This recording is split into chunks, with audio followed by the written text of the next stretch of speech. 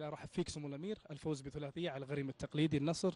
آه، الحقيقة أنا ما أدري عن أخبار رائد واتفاق عشان نشوف أنتم تصدرتوا آه يعني لسه ما تصدرتوا. فارق نقطة الآن بينكم وبين الاتفاق يبدو 22 23 24 إيه. سمو الأمير كيف رأيت الهلال اليوم أمام الجار؟ عادة تكون أمور مكشوفة برغم أنها لا تقيس كثير من الأمور الفنية. طيب مباراة في نهاية الأمر دوري ثلاث نقاط يعني مهم أن إحنا أخذناها. مستوانا يتصاعد. مع ذلك لسنا راضين تمام الرضا عن مستوانا ولكن يعني مباراة مهم كان ناخذ ثلاث نقاط. أعتقد فوز مقنع مستوى ونتيجة.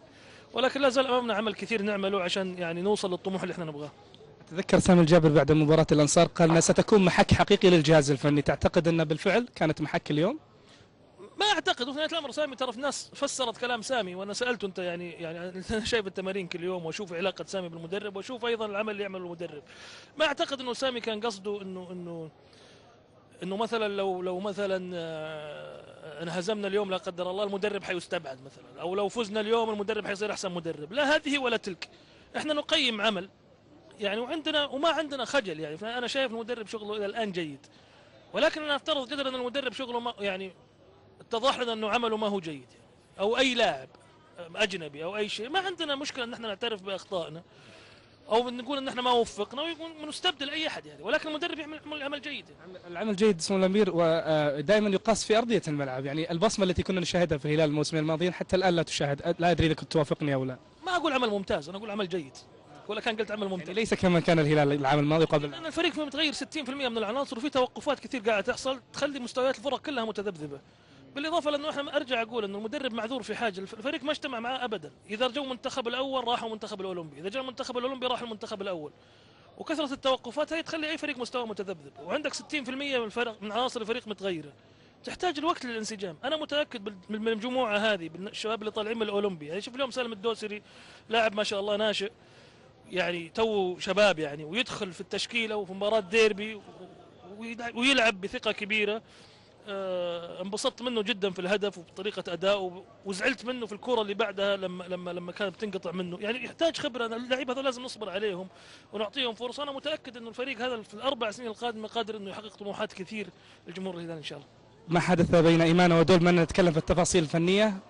هل سيكون منتهي بعد مباراة اليوم أم ربما إنه يتطور؟ الامر على فكرة بسيط بس لأنه قبل مباراة ديربي اخذ يعني أخذ أكبر من حجمه. ايمان أنا قلت قلت لاخوان الصحفيين تو لاعب كبير جدا وإحنا جبنا لأنه لاعب من طينه الكبار وعنده الكثير اللي يقدمه. لو ايمانا آه، لعب بكامل إمكانياته بكامل لياقته ولعب للفريق أنا متأكد إنه بيكون لاعب من أفضل اللعيبة الأجانب اللي مروا على تاريخ الدوري السعودي. إن لم يحدث ذلك لكل حدث حديث في نهاية الأمر إحنا عندنا تقييم في يناير لكل اللعيبه الأجانب. إذا في أي أحد مثلا شفنا ما يؤدي المأمول من السهل استبداله لأنه ممكن نلاقي له عروض. إيمان لاعب كبير جدا وأنا متأكد إنه بيقدم كل اللي عنده في المباريات الجاية. واللي حصل يعني في نهاية الأمر لا إيمانا ولا غيره ولا الرئيس ولا نائب الرئيس ولا الم... ما في أحد أكبر من الفريق. إحنا فريق واحد وحدة واحدة. اللي بيلتزم بالقواعد وبينضبط له مكان في الفريق. اللي اللي حيخل بهالمنظومة وروح الفريق ما له أي مكان سواء من الرئيس الأصغر عامل في النادي. سؤالي ما قبل الأخير كابتن سامي الجابر أيضا بعد مباراة الأنصار يرفض مسمى الج... آه، آه، مدير. الإداري ويقبل المدير الفني. والله عاد الاسم ما يفرق ولكن سامي الجابر هو المدير الإداري. ولكن ابتدى يعني هو يعني يصيبه آه، يعني وقع في غرامة التدريب بعد الشهادة اللي أخذها. نأمل أنه يأخذ الشهادة الثانية إن شاء الله. سامي الجابر رقم صعب. وعندي كل الثقة فيه ويعني من رموز الهلال سابقا وحاليا ومستقبلا. والعمل اللي يؤديه لا يمكن انه اي احد يتجاهله أو يقلل منه. اسم الامير آخر سؤال بعد ما تم الحديث عن التحكيم في الأيام الماضية اليوم نشاهد الحكم خليل جلال على الأقل قدم مباراة طيبة. هل آه، ستستمر مطالبتكم في المباريات القوية بالحكام الأجانب أم أن ستتغير وجهة النظر؟ أنا دائما أنا أتمنى أنه أنا دائما تصريحاتي تؤخذ صوتا. ولا تقرأ من الإعلام لأنه الإعلام ما يعكس الطريقة اللي تكلمت فيها. ارجعوا لتصريحي مع بتال القوس في برنامج في المرمى. حينما سئلت أنا سئلت وأجبت لم أتطوع وأقول إنه أنا على فكرة إحنا طلبنا حكم أجنبي من أسبوعين وما أثرنا الموضوع ولا قلنا. عندما وجه لنا سؤال هل طلبتوا حكم أجنبي؟ قلنا طلبنا مع أن النظام لا يسمح. يعني قالوا النظام لا يسمح.